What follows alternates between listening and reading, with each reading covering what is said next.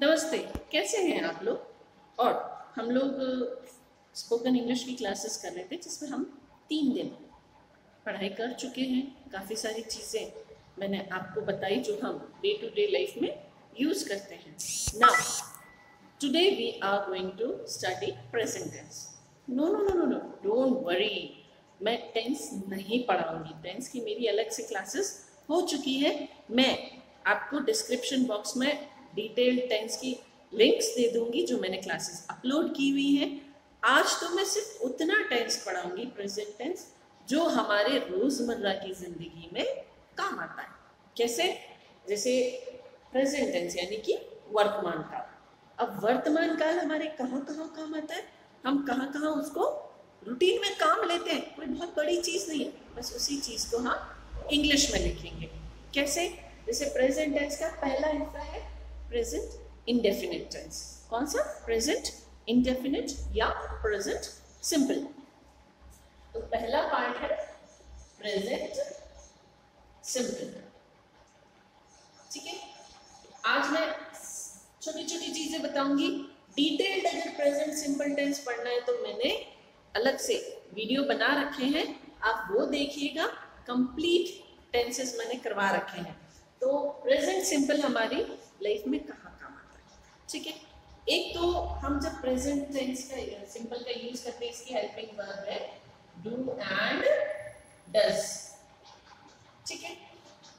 सामान्य तौर पे प्रेजेंट टेंस काम आता है, और प्रेजेंट सिंपल टेंस जब कोई चीज़ रूटीन में होती है, डेली होती ही होती है, नियमानुसार, उसकी आदत है तो जो चीज़ें आदतन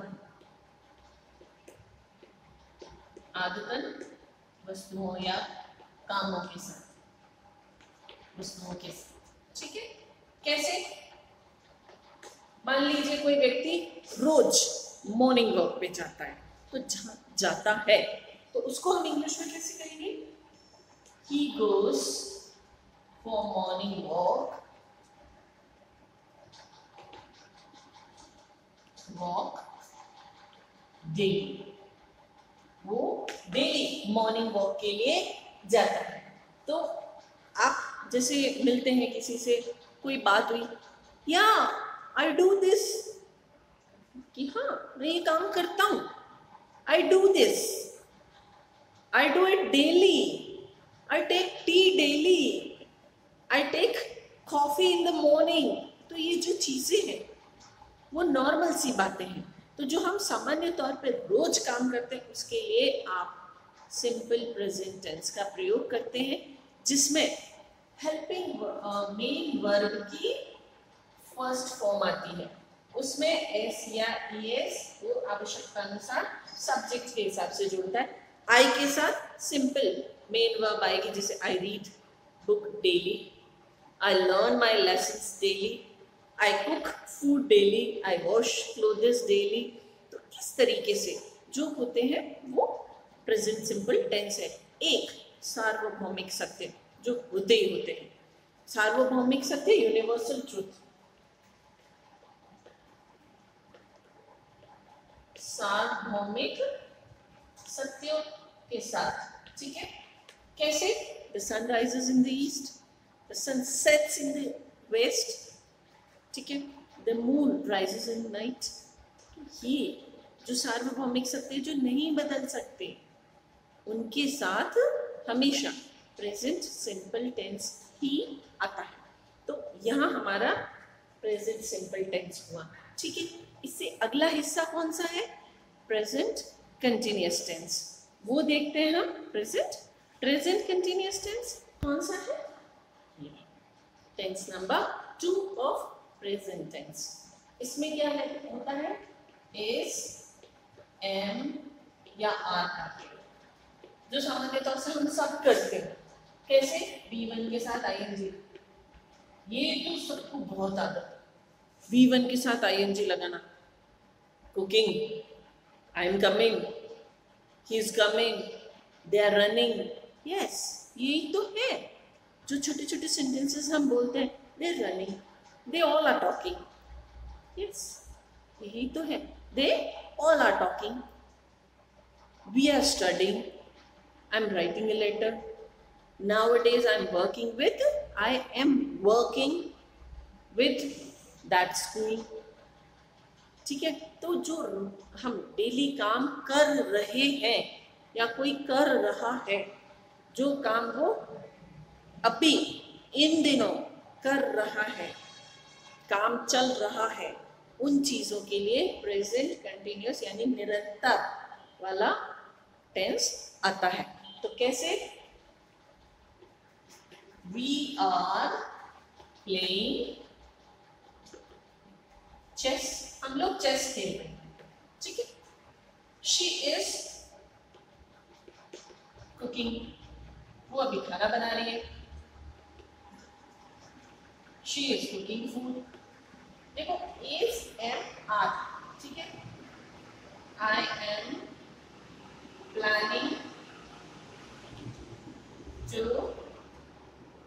shift to Bombay कि मैं बॉम्बे शिफ्ट होने का प्लान बना रहा हूँ। ठीक है? We are not reading that book we are not reading that book देखिए, मैंने नॉट भी लगाया।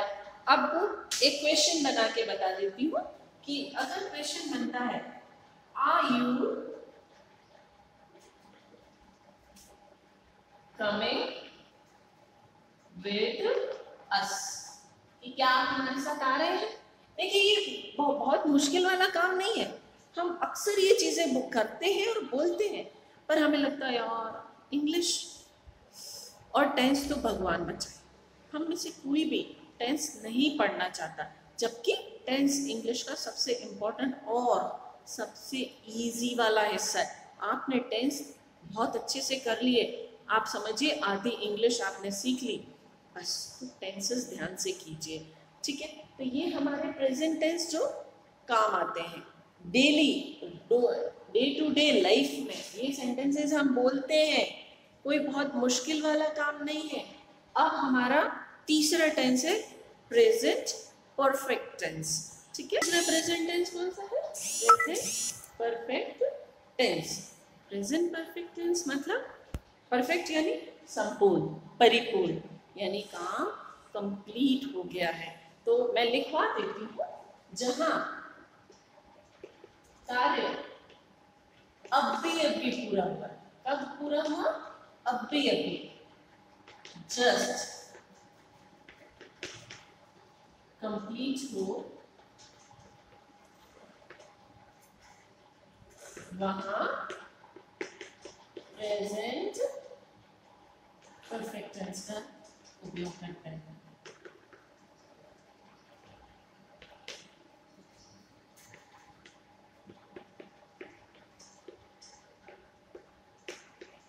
ठीक है जहाँ काम अभी अभी पूरा हुआ।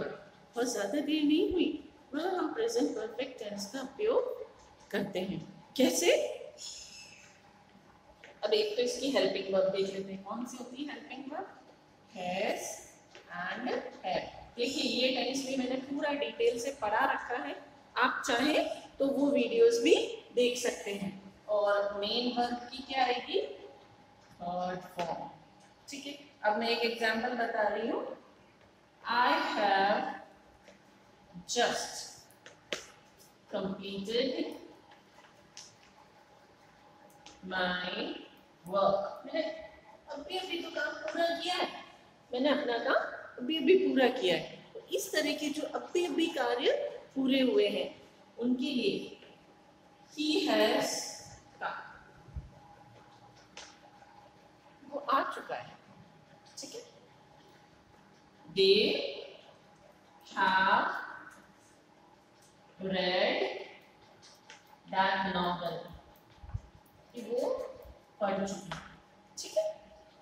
तो इस तरीके से present tense present perfect tense काम आता है और बहुत आसान है। आपको पैनिक होने की ज़रूरत नहीं है। बहुत तसल्ली से आप इसको सीखिए। चाहें तो मेरे बाकी वीडियोस जो टेंस के वीडियोस हैं, वो आप देख के नोट भी कर सकते हैं और वहाँ से सीख भी सकते हैं। तो आज का हमारा क्लास पूरा हुआ। आई होप कि आपको टेंसेस जो हम डेली लाइफ में प्रेजेंट टेंस हम कहाँ कहाँ काम में लेते हैं हमारी डेली लाइफ में, वो समझ में आ गया होगा। तो मेरे वीडियो को लाइक और शेयर ज़रूर कीजिएगा। Thank you